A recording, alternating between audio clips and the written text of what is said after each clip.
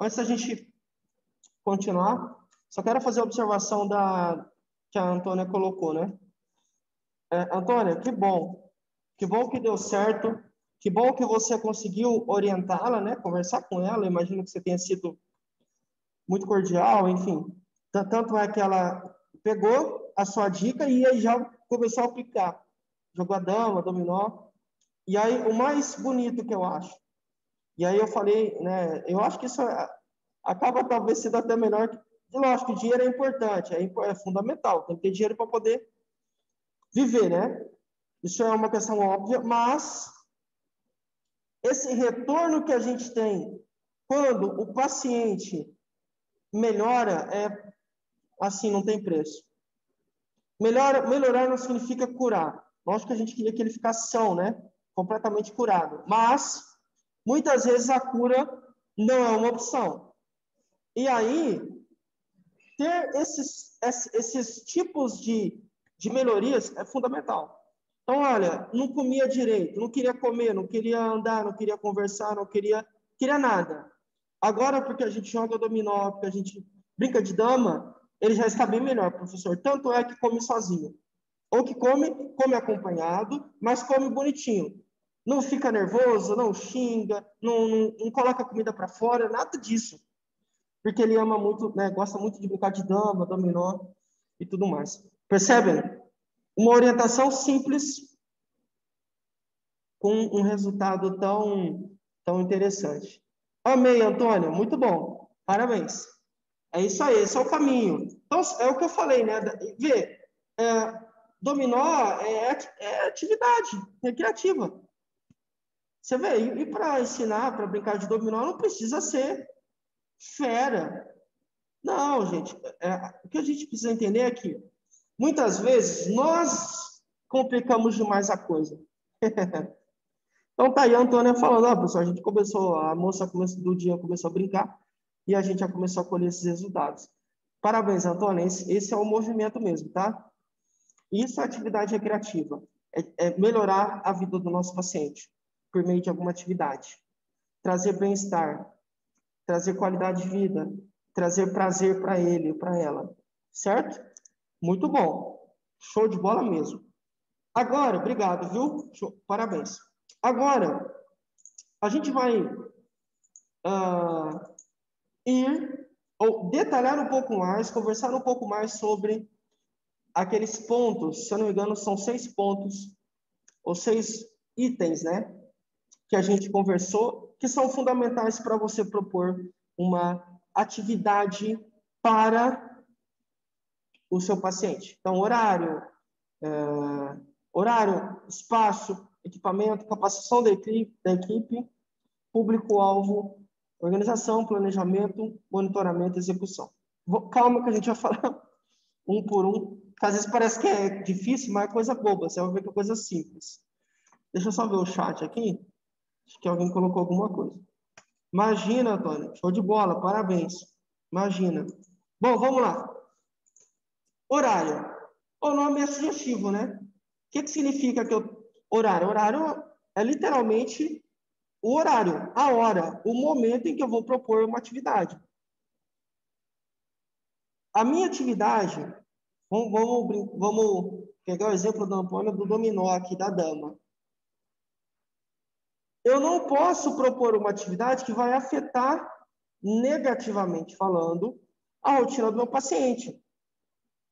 Então, o paciente costuma acordar, sei lá, sete e meia da manhã, né? De repente, eu vou colocar a dama dominou às sete e meia, sem ele ter ido ao banheiro, sem ter tomado banho, sem ter tomado café da manhã. Não, não posso. Não posso interferir na rotina para propor uma atividade. Não. Um melhor horário provavelmente vai ser depois. Não, ele pode brincar de dama, pode jogar dominó, não tem problema. Mas não pode ser no horário que ele está, que é o horário do banho, né? Eu não posso trocar o banho pelo dominó. As duas coisas são importantíssimas, né? Mas cada uma tem o seu momento. Então, eu preciso entender o horário. Outro exemplo, esse horário que eu vou escolher a atividade, não pode trazer prejuízos para a saúde do meu paciente. Não pode. Porque muitas vezes a gente vai propor uma atividade depois da refeição, depois do almoço. Olha, não dá, né? Depois do almoço não dá. Porque depois do almoço eu vou comprometer. O paciente acabou de comer, eu vou colocar ele para correr? Para pular corda depois do almoço? Não dá, gente. É perigoso, é prejudicial. Vai trazer né, danos para o nosso paciente. Então, esse item horário é isso. É o momento onde eu vou propor a atividade para o paciente. Esse momento não pode, né, esse horário não pode trazer prejuízos para o paciente e não pode, por exemplo, interferir na rotina dele. Segundo item, espaço. Muito sugestivo o nome, né? É literalmente o espaço, o local onde a gente vai fazer a atividade. Uma observação. Ainda que você tenha uma atividade que tenha um objetivo muito bonito, que tenha uma proposta, uma finalidade muito legal, interessante, se o seu espaço não for bom, é melhor você não realizar a atividade. Por exemplo, professor, eu quero trabalhar pular corda com o meu paciente. É uma, uma criança, sei lá, tem sete anos. Eu quero trabalhar pular corda porque para que ela tenha, né, professor, para que ela tenha a, as, as perninhas mais fortes, para ela ter o fortalecimento muscular e tudo mais. Beleza, a atividade é corretíssima. Fortalecimento muscular por meio do pular cordas. Fantástico. É isso aí, muito bom. Mas você não pode fazer isso na sala da casa dele, né? Se for pular corda lá na sala da casa, você vai derrubar todas as louças da mãe dele. Vai derrubar a televisão. Vai derrubar o armário, sei lá. Vai quebrar tudo. É pular corda na sala? Não dá. Então, a proposta é boa, fortalecimento muscular por meio de pular cordas. Entretanto, o espaço não é adequado. Se fosse na varanda, dependendo do tamanho da varanda, beleza. Se fosse no quintal, parece para mim mais agradável. Parece fazer mais sentido. Então, a, a finalidade pode ser muito boa, o objetivo pode ser magnífico. Se você não tem um espaço adequado. Gente, eu estou tirando a máscara, tá? Porque não tem ninguém na sala, tá bom? Não tem ninguém aqui, eu estou sozinho. O espaço pode ser bom. Desculpa, pode ser ruim, né? Com proposta boa, é melhor você não fazer, senão você vai trazer prejuízo. O que mais? Itens de segurança devem ser observados. Não vou pôr meu paciente para fazer uma atividade num local sujo num local cheio de lodo, num local escorregadio. Né? Por quê? Senão o paciente vai escorregar, vai se machucar. Vai escorregar, vai cair, vai quebrar um braço. Vai escorregar, vai cair, vai quebrar uma perna, um fêmur. Não, não posso. Então, segurança, higiene. Gente, o local tem que estar limpo minimamente, né? Tá? Então, são, vejam, são questões simples mas que precisam ser observadas necessariamente. Preciso ainda, além da segurança e da higiene, olhar também para a acessibilidade. O acesso. O meu paciente consegue acessar o local? Não, a gente vai brincar, vai brincar lá no segundo andar da casa, professor. É, a gente vai brincar lá que tem um, uma sacada, uma varanda que dá para fazer atividade lá em cima. Beleza. É, mas, professor, sabe o que, é? O Pedrinho machucou o tornozelo e aí ele tá de cadeira de rodas. Tá bom. E você consegue subir a cadeira, o Pedrinho com a cadeira lá para o segundo andar? Não. Então não dá. Porque a acessibilidade tem que ser considerada. Então você precisa considerar se o local é acessível para o seu paciente fazer atividade. Ele consegue chegar lá? Consegue desenvolver atividade naquele espaço que ele tem? Que você escolheu para poder fazer atividade? Não. Então não é o melhor lugar. talvez seja melhor sair para o quintal do que subir para o segundo andar, já que ele está, nesse momento, usando cadeira de rodas. Beleza? O que mais? Cuidado para não uh, usar, a, a ideia é, é, usar ambientes que possam causar acidentes. Então, você vai brincar num lugar que, que, é, que tem desnível. Então, às vezes você vai brincar com um cadeirante, por exemplo, numa rampa, num lugar, às vezes a garagem na casa dele é assim, né? Tipo uma rampa. Para acessar a garagem, você tem uma rampa antes, um desnível, por exemplo. E aí você tá lá toda distraída, tá, vamos brincar, e distraiu. Sem querer a criança foi para a rampa, não sabe ainda frear a cadeira de rodas, e aí imagina a criança pegando uma, uma, uma rampa que pode ser grande, sem ninguém segurando, ela vai se chocar contra o muro, sei lá, contra o portão, com o carro, alguma coisa do tipo. Então, muito cuidado com ambientes que possam causar, gerar acidentes. Piso escorregadio, desnível e outros itens que eu já falei. Beleza? E para fechar, clima. É, como assim, professor? Você está falando clima, né? O que, que, é isso? É literalmente clima, chuva. Você vai brincar no, a céu aberto? Não vejo nenhum problema. Lógico, né? Desde que não seja num horário que está muito quente, que vai trazer prejuízo para o seu paciente. Mas eu realmente não vejo nenhum problema em você brincar num, num local a céu aberto.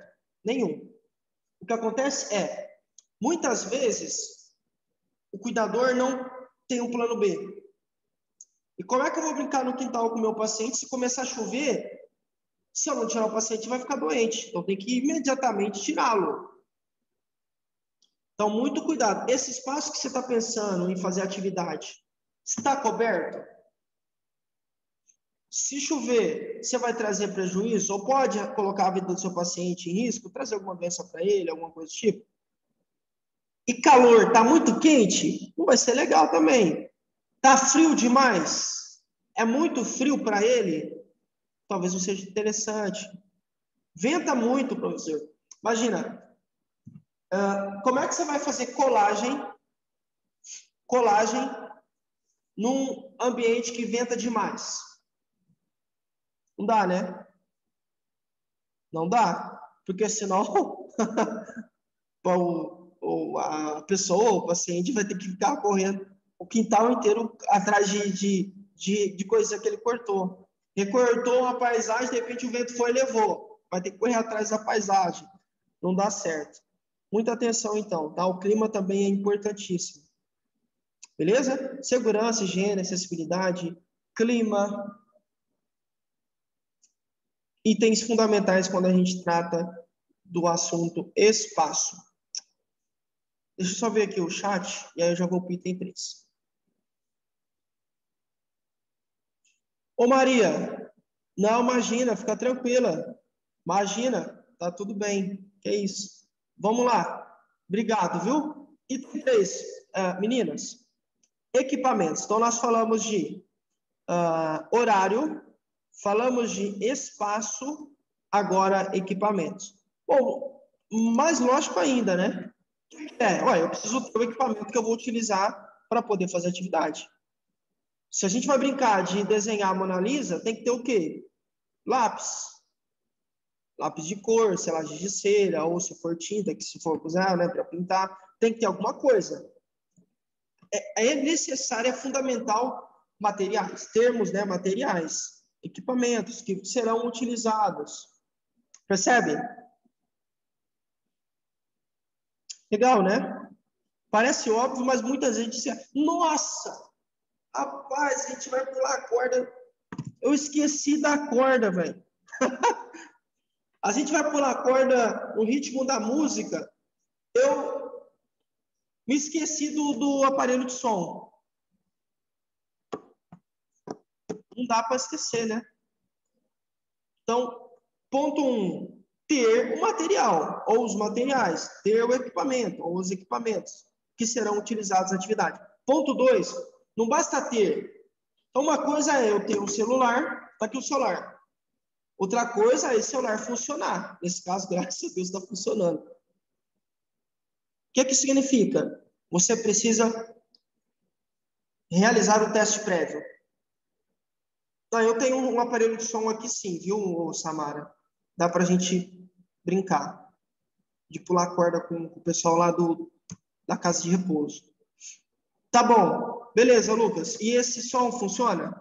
Mas como assim? Não. Faz o teste aí, liga ele aí, põe, um, põe na, sei lá, na Jovem Pan, põe algum, põe aí na clube, põe aí para a gente ver. Aí eu vou, faço o teste. Não, Samara, funciona assim. Daí o pendrive funciona? Porque a gente vai colocar música, né? Você sabe, música latina, né? Tango e tal. Vai ser por pendrive, certo? Vê se o pendrive funciona. Aí eu vou, coloco o pendrive. Não, tá funcionando sim. Ou não, caramba, não tá funcionando. Vamos encontrar uma, uma medida alternativa. E aí pode ser, sei lá, o celular, sei lá, um DVD, uma televisão, um computador. Aí, né, aí... Qual é a ideia aqui, gente? Professor, você está falando que se a gente fizer o teste antes do equipamento, vai dar tudo certo? Não, é que nem nesse caso, ó. Vejam, uma prova é hoje. Professor Lucas, eu reiniciei, eu liguei meu computador, deixei ele passar a noite toda desligado, liguei hoje de manhã de vir para aula para a gente já começar às oito certinho. Fiz tudo isso. Liguei ele em casa, deixei tudo aberto, a aula aberta, tudo, tudo, tudo certinho. Fechei, coloquei na bolsa. Quando cheguei aqui, eu não queria desbloquear. Mas eu fiz o teste prévio. Eu fiz. Por isso que eu chego sempre mais cedo. Faço o teste sempre do ar-condicionado, faço o teste do projetor. Por quê?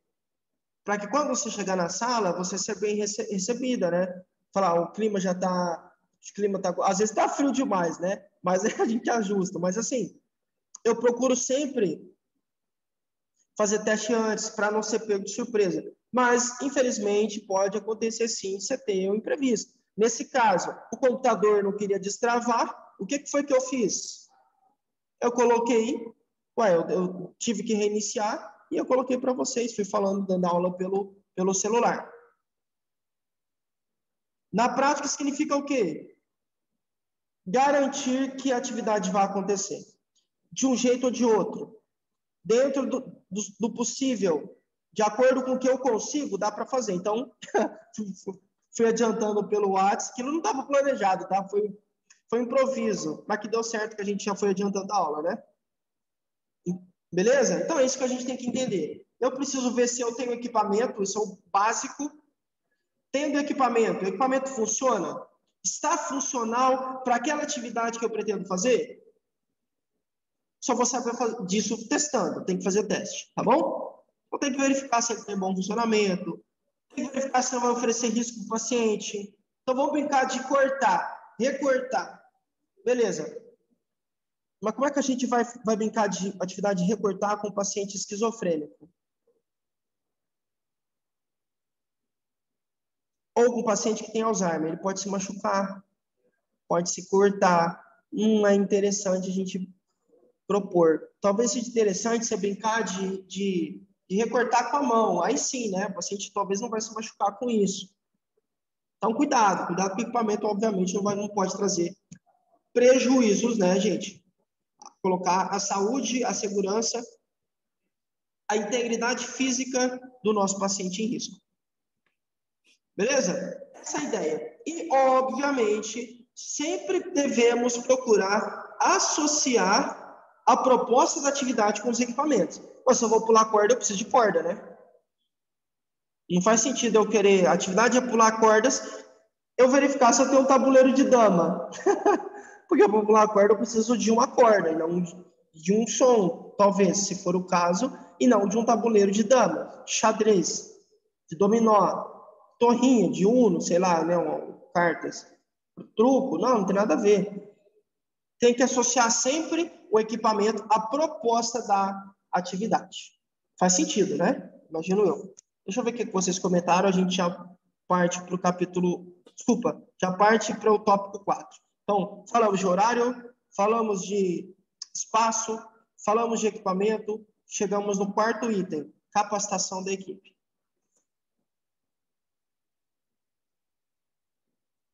É, é, peraí. Antônia, gente, eu nunca consegui pular a corda.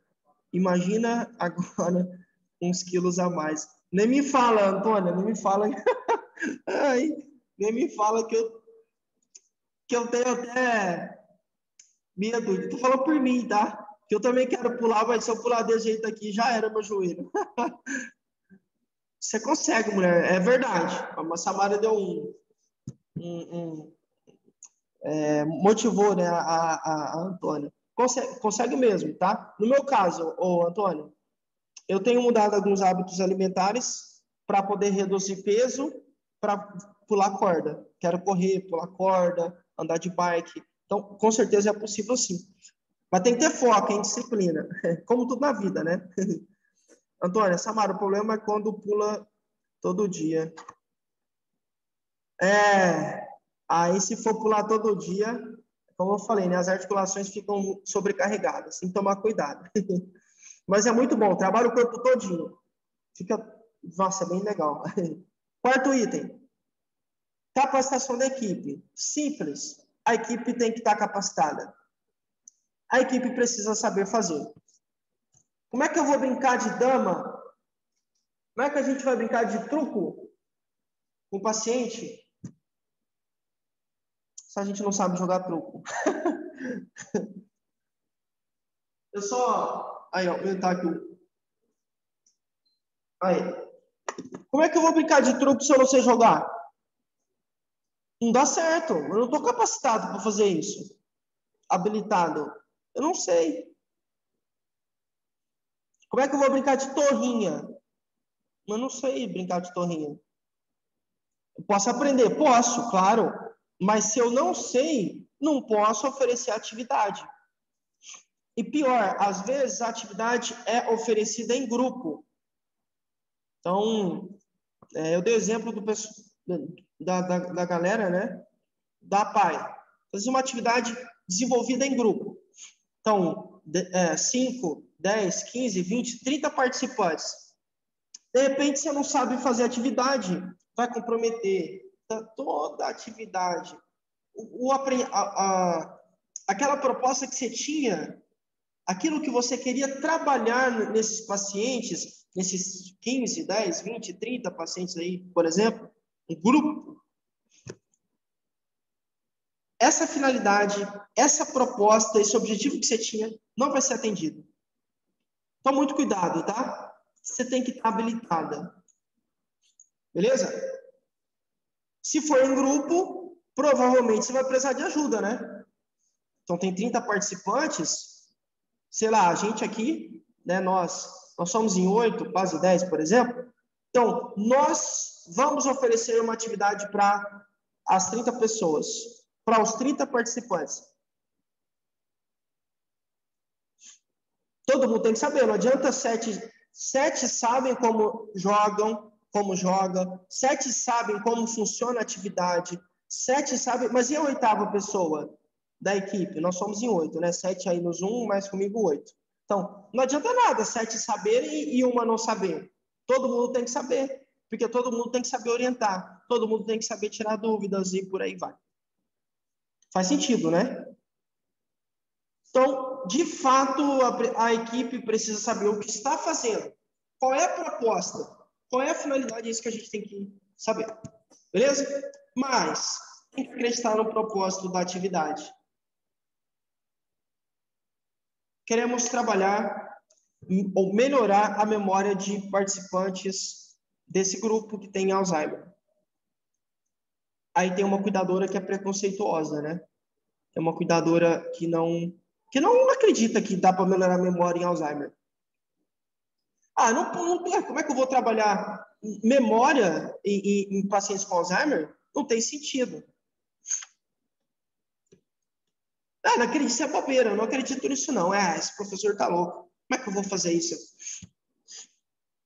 E aí, essa pessoa que não acredita na finalidade da atividade, não vai oferecer atividade com amor, com carinho, com dedicação, empenho, com ética, com profissionalismo, com comprometimento. Não vai. Porque ela não acredita. Você faz alguma coisa que você não acredita? Assim, você pode até fazer, mas vai fazer meia boca, né? Assim, perdão a expressão. Fazer meia boca. Ah, vou fazer, tem que fazer mesmo. Mas não acredito nisso aqui, não. Ver isso aí. Tá? Então, a equipe, além de estar totalmente instruída, totalmente capacitada, ainda precisa também acreditar que aquilo funciona para aquele paciente, ou sei lá, para aquele grupo de pacientes e tudo mais.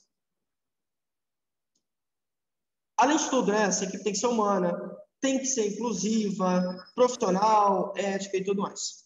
Quinto ponto, público-alvo. Para quem que eu vou propor? Quem é a pessoa que vai participar da atividade? É o Pedrinho. Quem que é o Pedrinho? Oh, o Pedrinho é uma criança que tem autismo. Ah, legal. Então, público-alvo é o quê? Criança, 8 anos, autista. O que, que o Pedrinho gosta? Não, o Pedrinho gosta. O Pedrinho, ele gosta muito de carro. O Pedrinho pega o carrinho, só como ele é autista, é, as, é, normalmente, professor, ele vira o carrinho. Então, as rodas ficam para cima e aí ele fica mexendo na rodinha do carrinho. Ele gosta, então, de roda. Esse é o negócio do Pedrinho. Esse é o meu público-alvo.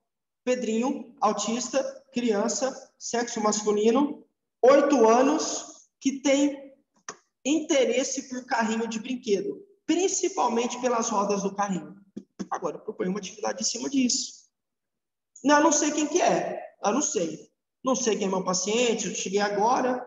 Faça uma pesquisa, se for necessário. Tá? Quem é? Pergunta para o pai, pergunta para a mãe, para a cuidadora que já acompanha a criança. Pergunta. Não vá pelo achismo, tá? Achismo nunca dá bom. Aí eu acho, olha, eu acho que é melhor a gente fazer isso com o Pedrinho. Eu acho que o Pedrinho gosta de cavalo. Eu acho que o Pedrinho gosta de calça jeans. Eu não, não tem, eu acho é por meio de observação ou por meio do relato do paciente. Melhor ainda. Pedrinho, você quer fazer o quê? Você prefere brincar de cavalinho ou de caminhão? Você prefere nadar ou correr? Basquete ou futebol? Entendem? Você prefere desenhar ou você prefere colar? Entenderam? Eu preciso saber, conhecer o meu público-alvo, aí eu vou conseguir oferecer uma atividade que tenha pelo menos mais chance de ser, de acontecer, de atender a proposta, a finalidade. Beleza? O que mais? Uh, sexto ponto, PODC, que é onde eu vou planejar, que foi isso que a gente fez até o momento, eu vou organizar, desenvolver, ou seja, executar, colocar a mão na massa e aí eu vou controlar. Deu certo? Não deu. Por que não deu? Ah, não deu certo porque é, eu fui fazer a atividade no quintal, professor, e aí choveu. Já era, não dá para fazer em casa. Você está monitorando os resultados. Não deu certo.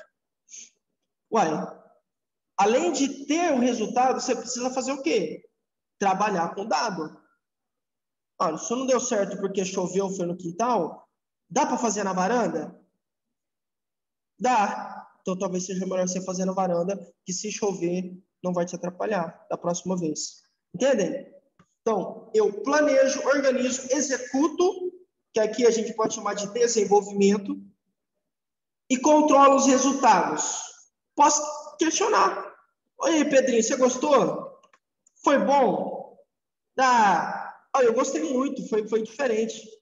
É, assim, eu, eu gosto né, de, de futebol, mas essa atividade de chutar a bola com os olhos vendados foi nova para mim. Gostei bastante, achei muito interessante. Obrigado. Consegui entender como um deficiente visual é, tem dificuldades para fazer coisas que para mim são mais simples. Para mim, né, sei lá, para que eu chute a bola é fácil. Eu consigo ver a bola, consigo chutar. Agora, de olho vendado foi um pouco difícil, mas eu consegui. Obrigado por essa experiência, é, Maria. Obrigado, viu, Maria José? Você Você me ajudou bastante. Entendem? Controle, controle, né? Monitoramento de resultados. Não é só pegar o resultado, é entender o que você pode fazer para melhorar. É entender o que não deve ser feito. Se você errou totalmente, olha, acontece, lógico, né, gente? Não estou falando que você vai acertar sempre. Eu, ninguém acerta. Eu mesmo vivo que vivo quebrando a cara. vivo quebrando a cara. Às vezes eu planejo uma atividade para os alunos, da, não dá tão certo quanto eu imaginava, mas o erro não é esse. Esse não é o problema. O problema é você não consertar para melhorar, tá bom? Então, cara, eu, professor, segui tudo, tudo que a gente estudou, não deu muito certo, deu mais ou menos. Melhora, vê qual que é o ponto que tem que ser melhorado. E aí você vai traçando para conseguir atingir resultados mais interessantes, melhores. Beleza? Bom, na página 26 tem um exemplo de atividade, um exemplo de planejamento de atividade. Eu trouxe para cá para a gente conversar. Uh, bom, vamos lá. Fundamental, né, gente? Isso aqui eu não falei porque, quer dizer, eu, disse, eu só não, não coloquei no slide. Antes de tudo, objetivo da atividade. Então, qual é o objetivo? Qual é a atividade? Beleza? Qual é o objetivo? Qual é a atividade? Bom, objetivo e atividade, quando você tem essas duas informações, aí você começa a seguir aqueles seis passos que eu listei para você. Vamos lá, atividade nesse caso aqui é pular cordas, data e local, que é data ou pode ser o, a data literalmente, né, o dia do ano, dia do mês, dia da semana, sei lá, uh, e o, o, horário, tá bom? Então é data, horário espaço, data, horário e local. Então, terça-feira, uh, das 14 às 15, das 11 às 3 da tarde, na varanda de casa. Qual é o objetivo dessa atividade? Pular cordas, né? O objetivo é o fortalecimento muscular, envolvimento com os colegas e também alguns movimentos de diversão, porque a gente vai ficar pulando cordas ouvindo música. Quais são os recursos necessários para que essa atividade aconteça? Entendam recursos como equipamentos. Ué, o som, que é que a gente vai colocar música, tem que ter o, é, um som e a música, e a corda, professor. É isso que a gente precisa disso. Então, música para animar, música está maquiando, né, aparelho de som. Entendam que aqui está música, mas é aparelho de som, né? E corda. Quais são os procedimentos necessários para que essa atividade seja executada? Duas pessoas da equipe ficarem batendo corda e aí os pacientes vão ficando, vão pulando enquanto a música toca. Legal, né? Então você tem dois, tem a Maria e a Andréia. A Maria José e a Andréia, a Deinha. Uma em cada ponta da corda pulando. E a Elisângela lá no som. Então, a Elisângela é quem fica parando a música, né? E aí a turma tem que ficar pulando a corda de acordo com o que a Elisângela é, para e solta a música. É isso. Os procedimentos é isso o paciente ou os pacientes têm que ficar pulando a, a corda enquanto a gente bate no ritmo da música. É isso. Beleza? Lógico, isso aqui é para essa atividade um exemplo. Você tem que ir preenchendo, né, obviamente, com as atividades que você vai propor para o seu paciente. Observações gerais. Então, observações. Se chover, a gente vai para dentro de casa, porque a gente vai pular na varanda, mas se chover, cai água lá na varanda, fica escorregadio, não vai dar certo, professor. Então, olha, a gente, tá, a gente vai fazer na varanda porque não está chovendo. Mas se chover, a gente vai ter que entrar, vai ter que ir para dentro de casa. E aí, só que lá não tem como pular corda, né? Dentro de casa não dá para pular corda, professor. Mas a gente vai fazer outra atividade que consiga atender esse objetivo. Entenderam? Plano A, plano B. Plano A, varanda. Plano B, dentro de casa. Plano A, varanda, pular cordas para fortalecimento muscular. Plano B, dentro de casa, não tem como pular corda, mas eu consigo atender a mesma finalidade. O objetivo era o fortalecimento muscular. Não posso pular corda, mas eu posso fazer bicicleta. Sabe aquelas bicicletas é, que é ergométricas que, que se fala? Acho que é isso. Perdão se eu estiver falando o nome errado. Eu acho que é isso. Bicicletas ergométricas. São aquelas bicicletas tipo de academia, fixas. Tem lá na casa do paciente. Ora, se ele ficar pedalando, vai ter um fortalecimento muscular também. Assim como ele teria pulando uh, cordas. Entenderam? A mesma proposta, a mesma finalidade no plano A e no plano B. Fantástico, né?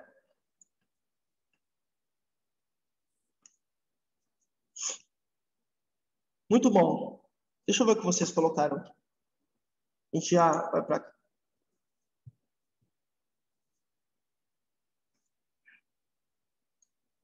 Perdão. É, é, Samara, a Antônia. Meu Deus, é, preciso correr para aprender um pouco. Truco também não sei. Preciso correr. Ô, Antônia, eu também não sei não. Não sei nada. A turma a turma, ah, vamos jogar truco. Falou, galera, pode jogar aí. Truco, cacheta. Falou, pode jogar. Não sei nada disso.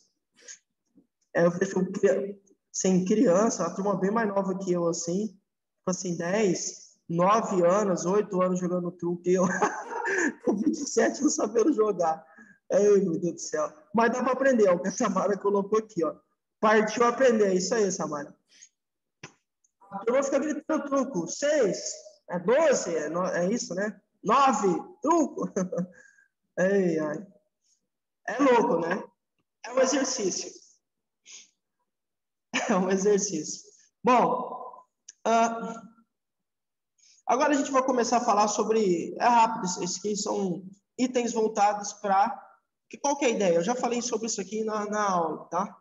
Durante toda essa apresentação, eu já falei sobre isso. A ideia é cada é, cada público-alvo costuma ter características em comum. Então, geralmente, geralmente, lembrando, tá? Isso é geralmente, normalmente. A gente tem que crianças que tenham até seis anos costumam gostar de brincadeiras com muita movimentação. Você pode ir uma escolinha, você não vai ver a turma lá de, de até seis anos baratinha. Normalmente a galera tá, não, né, essas crianças estão muito agitadas, correndo, pulando, se jogando, correndo daqui para lá, muita movimentação, muita alegria, muita energia. Zero aos seis anos. Característico que a gente chama dessa fase, a gente chama de primeira infância. Então, na primeira infância, zero a seis anos, a característica ou os aspectos mais nítidos, mais encontrados são esses: muita alegria, muita energia, muita movimentação. Então, aí eu preciso trabalhar nessas pessoas, nesse indivíduo de até seis anos de idade, o que, gente? Atividade assim, ué. Corre, corre. Pega, pega. Fica, esconde. Coisas que tenham movimentação. Que coloquem esse excesso de energia para fora. Gastar energia. Essa é a ideia da primeira infância, que vai dos zero aos seis anos. A segunda infância parte dos sete então, dos 7 aos 12, temos a segunda infância. Aqui, obviamente, o indivíduo já começa a ter interesses por coisas diferentes. Então, as características da segunda infância, 7 aos 12 anos, estão mais voltadas para atividades em equipe, teste de raciocínio, brincadeiras de ação, carrinho de mão, cinco Maria, pula cordas. Percebam que Ainda assim, lógico, ainda tem movimentação? Tem. Mas você já consegue perceber, de certa forma, é, não me entendam mal, de certa forma, um amadurecimento. Então, o interesse começa a mudar. Bom, sai daquele, daquelas atividades com excesso de energia. Ah, vou ficar correndo o dia todo. Não. Essa turma aqui dos 7 aos 12 já começa a querer brincar de outras coisas, a querer a se interessar por outras atividades, por outras características. E por aí vai, tá bom?